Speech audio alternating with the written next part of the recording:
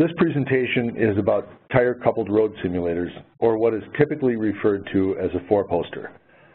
I'll discuss traditional servo-hydraulic four-posters and then introduce linear electric actuators and the MTS ePost tire-coupled road simulator. So what is a tire-coupled road simulator? It's a tool that allows engineers to excite a vehicle's suspension. It does this by applying vertical input through the tires. Analysis has shown that 90% of durability damage is the result of vertical input alone. Range of tire-coupled simulators. They come in a wide range of sizes, from small ATV-sized four-posters up to heavy-duty trucks. Sometimes they're not four-posters at all, they're six or eight-posters.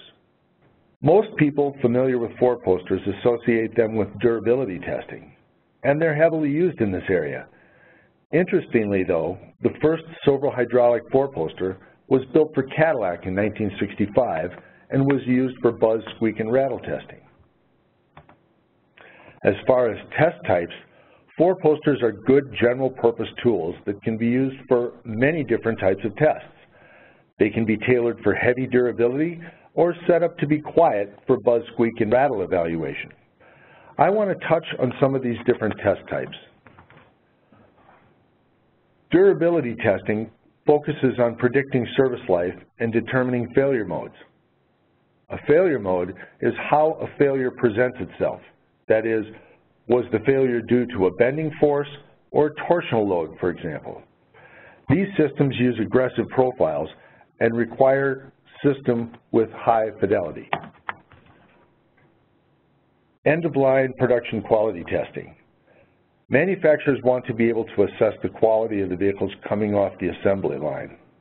One of the measures of quality and one of the leading reasons for new car service is noise in the car. This system subjects the car to input profiles designed to find noises. Once noises are found, engineers can go back and find the root cause of the noise and correct it on the production line. Ride comfort is about assessing transmissibility. How are vibrations transmitted through the vehicle? Sometimes engineers are interested in how transmissibility changes as a car ages. So an objective measurement is done in a lab with a new car.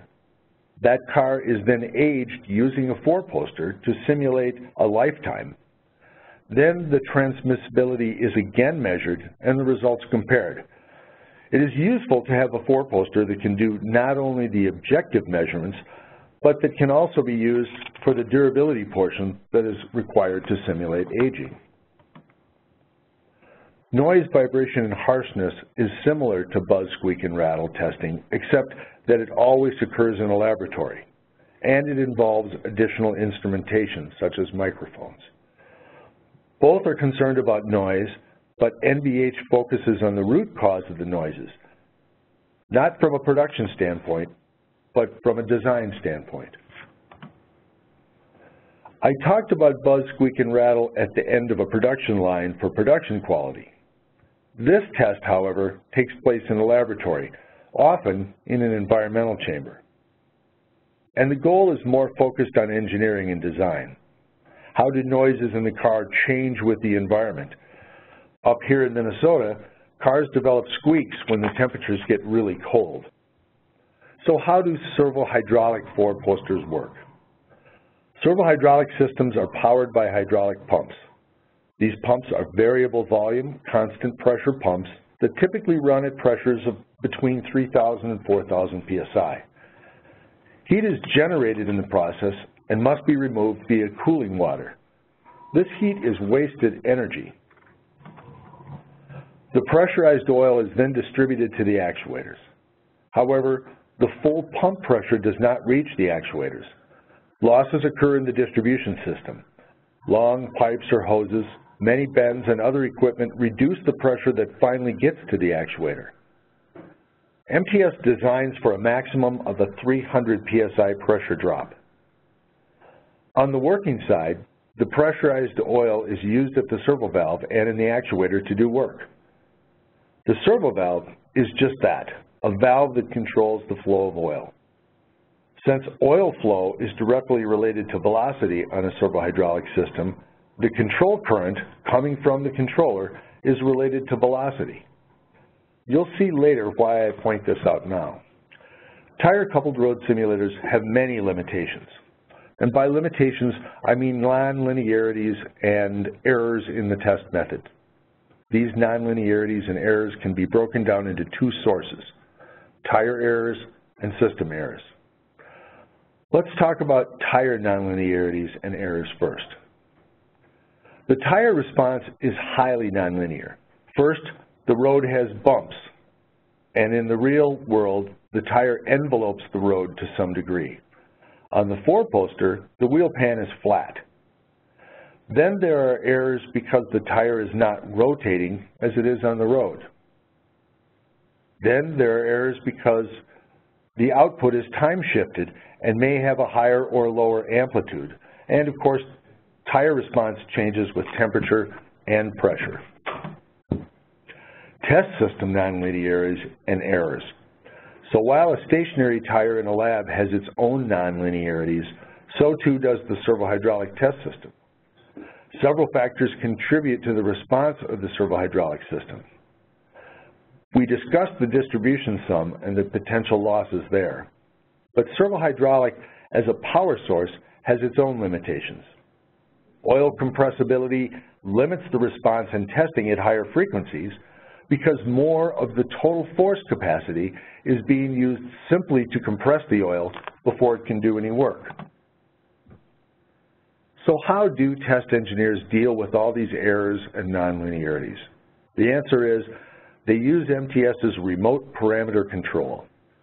By using RPC, most of the errors and nonlinearities can be compensated for. Remember, the goal is to replicate vertical spindle motion. The software works by adjusting the command iteratively until the spindle motion during playout matches the spindle motion recorded on the proving ground. If the spindle motion closely matches, the test is deemed successful. Here is an example of a four-poster layout. The control room overlooks the system.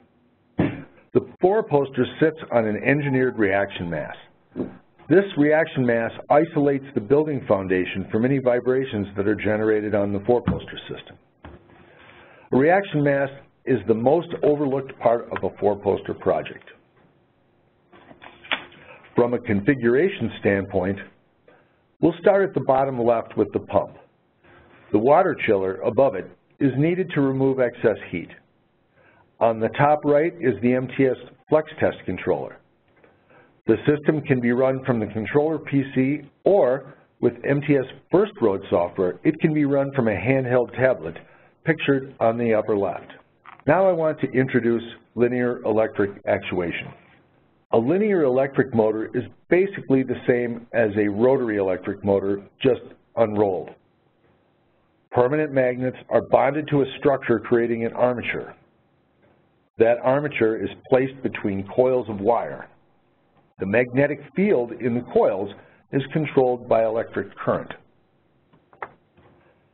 An electrical drive uses pulse width modulated current to control the magnetic fields in the coils.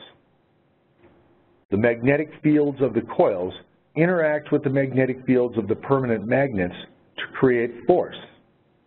If the current is carefully controlled, a constant motion can be achieved. Today's drives can be very accurately controlled in displacement. So that's how they work. Let's talk about what they can do.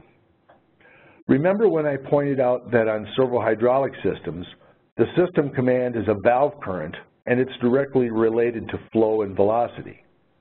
Well, Linear electric actuators are different. There, the system command current is direct, directly related to force. With the accuracy of today's drives, high-resolution encoders are used for displacement feedback. As of 2018, MTS uses encoders with a resolution of 5 nanometers. Linear electric motors come in two basic designs. This one is the traditional design. On this, Magnets, which are referred to here as the secondary, are bonded to some type of structure. That structure is mounted on bearings so that it can move. The primary is made up of coils of wire which control motion. So a traditional linear electric actuator has moving magnets. We call this an iron core design. The moving coil, or ironless design, reverses this arrangement. Where you had moving magnets with the traditional design, here you have moving coils and fixed magnets. This buys you lower moving mass, lower inertia, and better response. Ironless motors have many advantages over traditional designs. There's no force ripple or cogging, which is a characteristic of a traditional design. The lighter weight and lower inductance make for a faster response and higher frequency operation. Here's a cutaway view of an ironless design. On the right, you can see the ironless motor forcers sticking out like wings. These are encased in a magnetic track as shown in the bottom right. The forcers are connected to a lightweight shaft. Air bearings center the shaft, making for a very lightweight moving portion. Also note the static support cylinders. Since electric motors are force generators, they use energy and heat up when generating force. For that reason, pneumatic support cylinders are provided to hold up the average weight of the vehicle. That way, the electric actuators only use power when they move. So, ironless linear electric motors, quiet, highly responsive, excellent for buzz, squeak, and rattle, not ideal for durability. The reason ironless motors are not ideal for durability is that they must be cooled with air. Electric motors heat up when they are moving. That heat must be removed or it can damage the magnets. A durability test is made up of aggressive road profiles. So the actuators heat up more. Air does not remove enough heat to cool these motors adequately. But an iron core design uses water to cool the electric motors. And water is 4.23 times as effective at removing heat as air is. So let's talk about iron core electric motors and specifically the new MTS iron core E-post. The iron core E-post has many advantages over ironless motors. The way the windings are incorporated provides higher force density, higher than ironless motors. And it can be cooled with water, which is more effective at removing heat. Note that the MTS E-post uses four static support cylinders.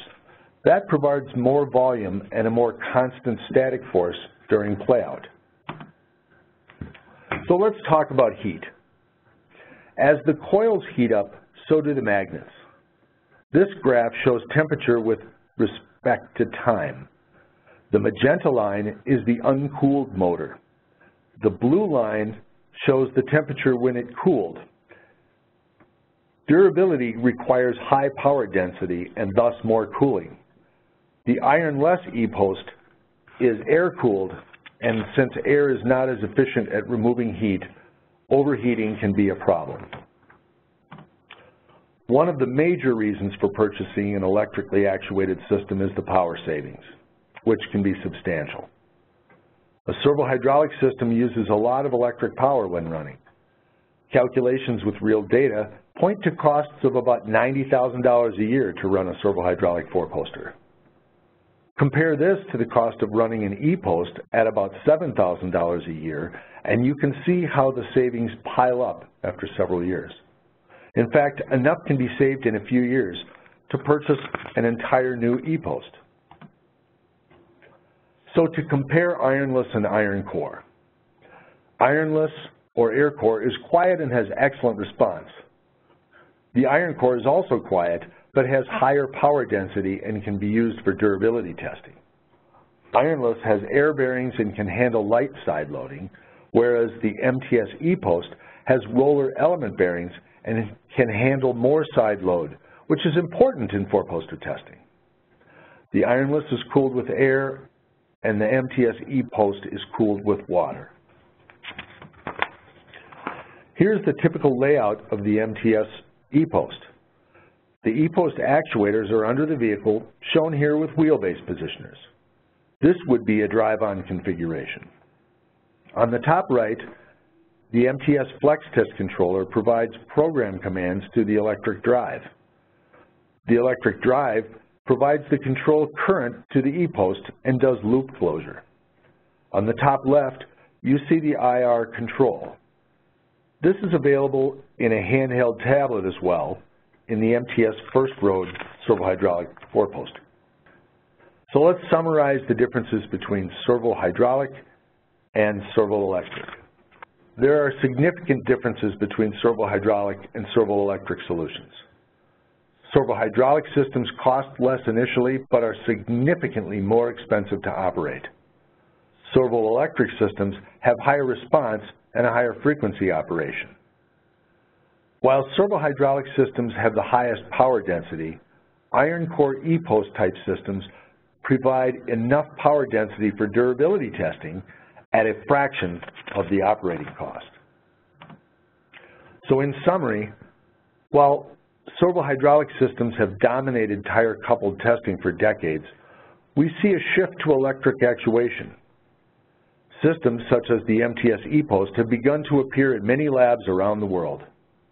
The improved performance and lower operating cost make electrically actuated four-posters attractive to automobile designers and manufacturers.